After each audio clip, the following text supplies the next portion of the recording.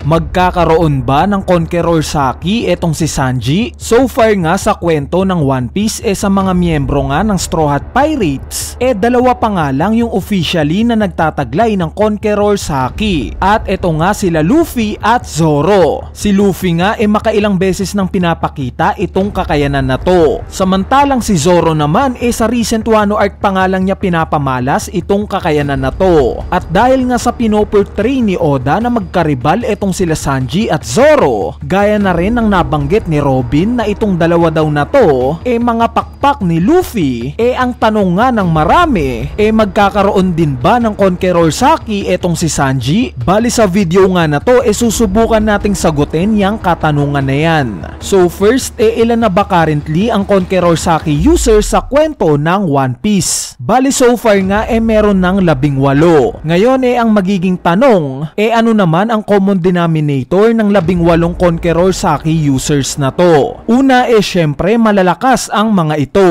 Ikalawa eh yung iba nga sa kanila eh may royalty. Since etong sila Katakuri at Yamato nga eh mga anak ng Emperor. Meaning eh prinsipe at prinsesa sila ng kanya-kanya nilang mga lugar.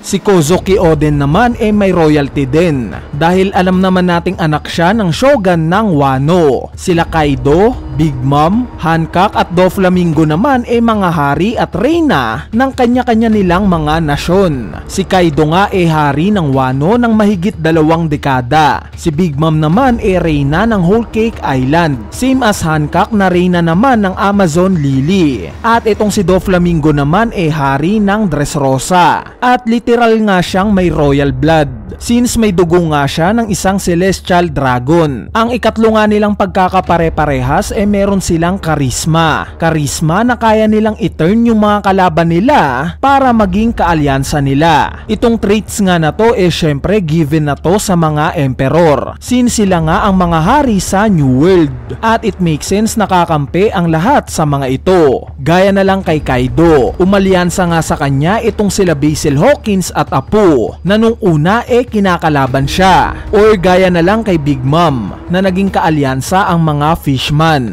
Pero itong karisma nga na to eh pinapakita rin ng ibang Conqueror Saki users even though hindi sila mga emperor. For example na lang eh itong si Luffy. Nakita naman natin na pinamalas niya to during Impel Down arc. Yung mga dating nga niyang kalaban eh nagawa niyang mabago at naging kaalyansa niya. In fact eh nabanggit pa nga ito ni Mihawk. Si Kozuki Oden nga eh ganun din. Hindi naman instantly na naging tauhan ni Oden ang mga scabbards. Yung iba nga sa mga ito eh naging kalaban niya din. Pero dahil nga sa taglay niyang karisma e na-turn niya din ang mga ito as alliance niya. At ang huling common denominator nga ng mga Conqueror Saki user eh syempre may gusto silang pagharian. Obvious nga ito dahil yung root word nga ng Conqueror sa Conqueror Saki e conquer. Meaning eh may gusto ka dapat na i-overcome o i-take control. Ngayong nalatag na nga natin ang pagkapare-parehas ng labing walong Conqueror Saki users na to, eh alamin naman natin kung pasok ba si Sanji sa apat na criteria na to. Una ay yung power. Itong unang criteria nga natin ay obvious naman na pasado si Sanji dito. Since unofficial nga siyang nirarank as number 3 sa Straw Hat Pirates. Plus siya nga rin ang tumatapat sa ikatlong pinakamalakas sa mga nakakalaban nila. Kaya naman kung pasok nga itong si Zoro sa criteria na to, eh hindi malabong magkalayo sila netong si Sanji. Ang ikalawa naman nating criteria ay yung royalty. We all know na during Whole Cake Island arc eh ni-reveal nga itong pagiging royalty ni Sanji. Dahil nga sa anak siya ng hari ng Germa 66, eh technically nga na isang prinsipe itong si Sanji. Kaya it makes sense na pasok siya sa criteria na to. Ang ikatlong criteria naman ay eh yung karisma. Bali sa tingin ko nga napasok din si Sanji sa criteria na to. Bakit? Dahil gaya nga ng sinabi ko kanina eh nagagawa nga ni Luffy na maging kaalyansa ang mga naging kalaban niya na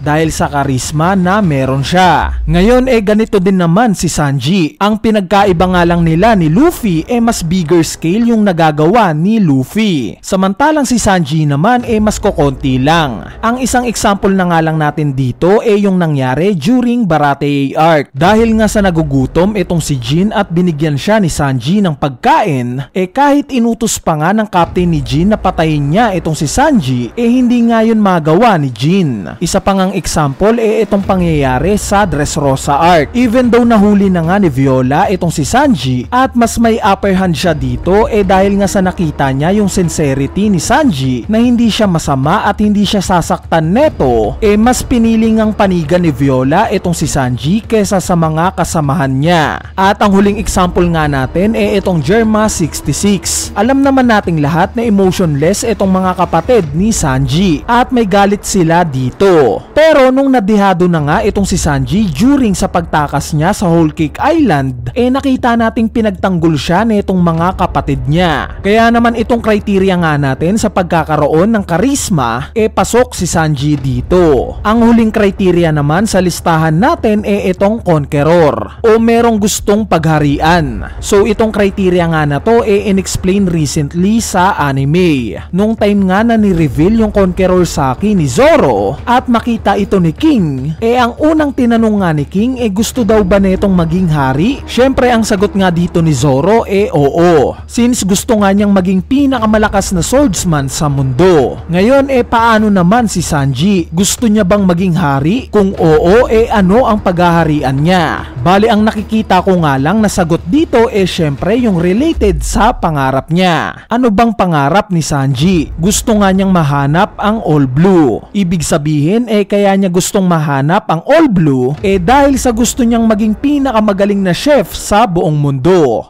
ba? Yes, mababaw nga kung pakikinggan. Pero during nga sa cover page ng chapter 1081, eh parang may pinapahiwatig nga itong si Oda patungkol sa pangarap na to ni Sanji. Dahil alam naman nating lahat kung gaano katotoo yung pagfo-foreshadow ni Oda sa mga cover page. 'Di ba? Gaya na lang sa cover page ng chapter 1028 kung saan eh ipinakita ni Oda yung appearance ni Luffy na ganito. At later on nga makalipas lang ang 20 chapters, eh ni-reveal na ganito pala talaga yung appearance ng Gear 5. Or isa pa eh gaya na lang ng cover page na to na present sila Buggy, Shanks, Blackbeard at Luffy. At ilang taon nga ang lumipas eh yung mga karakter nga sa cover page na to eh naging mga emperor. Kaya naman itong cover page nga sa chapter 1081 na ipinakitang nagbabasa si Sanji ng isang libro eh kung mapapansin nyo nga eh hindi cooking yung word na nakalagay dito. Bagkos eh COC King. At ano bang term ang COC sa mundo ng One Piece? 'Di ba Color of Conqueror Saki? Ngayon eh it makes sense nga na pinapahiwatig ni Oda na magkakaroon ng Conqueror Saki itong si Sanji. Dahil sa cover page nga na to kung titignan nyo ng mabuti, eh yung mga Straw Hat Pirates nga na present dito eh puro lalaki. At lahat nga sila eh natutulog maliban lang kay Sanji na isa sa epekto ng Conqueror Saki. Nawawalan nga ng malay kung sino man ang magamitan neto. Plus wala nga dito sila Nami at Robin na alam naman nating lahat na hindi nananakit ng babae itong si Sanji. Kaya it makes sense na ito yung message na gustong ibato ni Oda sa cover page na to. Magkakaroon ng Conqueror Saki si Sanji. So all in all eh para sa akin nga eh magkakaroon talaga ng Conqueror Saki si Sanji sa mga susunod na chapters. At isa pa eh ang astig kaya kung iisipin na may Conqueror Saki etong sila Sanji at Zoro. Dahil imagine, sa tuwing mag-aaway sila eh mahahati nila yung kalangitan. ba? De joke lang. Anyway, para sa inyo ba, magkakaroon ba ng Conqueror Saki etong si Sanji o hindi? Kung may idea nga kayo, eh i-comment nyo na yan sa ating comment section sa ibaba para mapag-usapan natin yan.